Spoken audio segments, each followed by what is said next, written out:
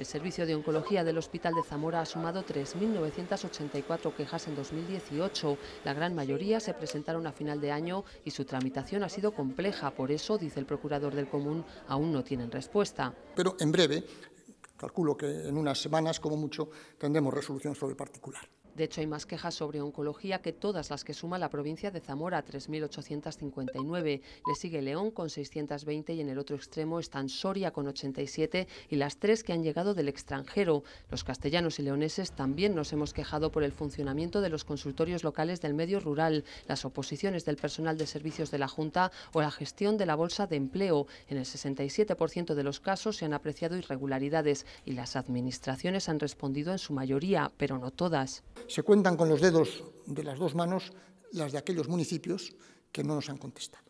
Ni dice que lo acepta, ni tampoco la rechaza. Esto es algo frustrante. También ha habido 79 actuaciones de oficio, la mayoría 67 porque municipios de menos de 50 habitantes de León, Zamora y Soria se han dado de baja en el control sanitario del agua. El procurador del común les ha recomendado que vuelvan a establecer controles y la mayoría ya ha contestado que sí lo hará. También ha pedido a Burgos, León y Salamanca que hagan protocolos para hacer frente a la contaminación.